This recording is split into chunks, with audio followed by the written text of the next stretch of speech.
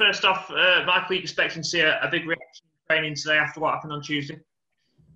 Uh, yeah, hopefully, yeah. Um, obviously, emotions aside, my thoughts are still the same, but I think it's all ultimately um, it's a point from a point that you know um, all sort of things considered, we probably didn't deserve.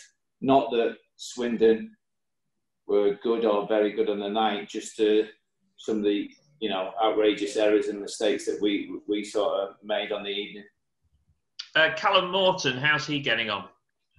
Yeah, he's coming on all right. To be fair, um, we're hopeful, hopeful we might see him uh, potentially Crewe game possibly involved, if not worst case scenario Ipswich. And it, with with his injury, is it more just about building him back up fitness wise? It's not actually the rehab on the injury now that needs to be done.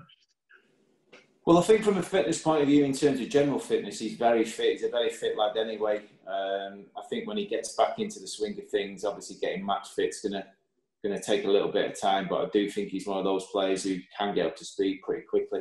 I think it's more um, with these type of injuries, just getting the blessing from the surgeons and the and the medical staff to know that you know he's in a place physically that can demand uh, what's expected him with his arm.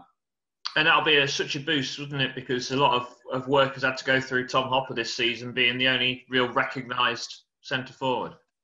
Absolutely, hundred percent. And Tom's been done magnificent for us, like I said last week, and uh, you know, he's had to put the yardage in probably more than probably what we would want or expect from him um, because he does a lot of unselfish things for the for, for the team and the club, and uh, it's very much recognised by by you know all the staff and the players. But ultimately, he needs a bit of help every now and again, and uh, hopefully Callum can give him that. You've alluded to it over the last couple of weeks, the, the fatigue of the players, the amount of games they've played. I think George Grant's up to 41 appearances this season. Has it surprised you that they've lasted this long before feeling the fatigue, or has it surprised you that it's come too soon? No, I mean, I think with the effort that was put in into such a small pre-season and the games that you know that we've had to play, um, no surprise. Um, I think it's the way they've coped with it has been admirable. Um, you know, but it's, it's one of them, Rob. If you want to be successful, you these are the things that challenges that you've got to overcome and, and, and deal with. And uh, the likes of the likes of George are probably my, my least of the concerns because obviously you know he's a very experienced player, talented player. Uh, he'll manage and look after himself in between the games as best as he possibly can. Um, it's some of our younger players that we that we have to uh, stay on top of and make sure that you know they they're looking after themselves properly. You know, in between the games because you know, when they come into the training ground every single day or when they do come, you know, whether it's making sure we look after their minutes um, or making sure that they do the right rehab and pre-ab type sessions, that will happen. The one thing we can't control really um, is when they leave the, the training ground and they go home and, you know, making sure that they eat right. We can advise what to eat and what to drink in between the, the games, um, but it's important that they take that on board because the longer the season goes on, the more games down the line, it will have an effect. How much of your team selection at the moment is is down to the fatigue of the players rather than the form of the players? Yeah, there's, a, there's definitely a definitely a mixture of that. Hundred percent. You know, there's a concern that if you play players too much, uh, you know, the last, last half a dozen games or so, we could completely blow up. Um, having said that, you know you've got to get the balance right as well and make sure that I suppose players that are, are out of form or players that are in form um, are getting more minutes than the players that are out of form. So yeah, we, it's it's a, it's a difficult sort of um, scenario to balance and get right, but you know ultimately um, you know that, that's what we get paid for. That's what we do. That's why we do it, and we might have to find a, a balance between making sure that players get enough rest, but at the same time, having enough players on the on the pitch that are in good form.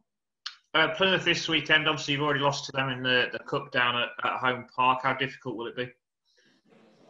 It'll be a tough game, but I thought we were brilliant in the FA Cup being honest. Uh, apart from score, I thought the performance was. I bet the performance at home park in the cup was probably one of our top ten performances this season uh, in terms of how we played. So um, I'd much take a, or take right now a lesser performance than the three points if that's what you're asking. Um, so um, yeah, for as disappointed as it was the other night, if we play like that and take the three points, I'll still be happy. But um, it is going to be difficult. Obviously, they had a tough game against Peterborough midweek, um, but prior to that, am I right in thinking prior to that they were one of the unbeaten sides since the new year? Yeah, so um, they're obviously we're on a decent vein of form, so um, it's a good pitch, which which helps. You know, we're delighted, big pitch, nice surface, so that will help. Hopefully, no wind, um, and it should be a good game of football. Uh, and they've got some dangerous attacking players, Luke Jephcott uh, amongst them as well. Is that where you feel their biggest threat is, not necessarily defensively, but in, in offensive areas? Yeah, definitely. And I think the way they play, I think suits the way we play will suit them. The way they play will suit us. So it should be a good game. Obviously, Jephcott's done well for them. You know, Danny Mayor's an incredibly talented player, and I think he'll be back in the side uh, on Saturday. So um, yeah, it'll be one of them where um, they'll be aware of what we can do in, in, in, forward areas, but at the same time, we're more than aware of what they're capable of doing in, uh, in the final third.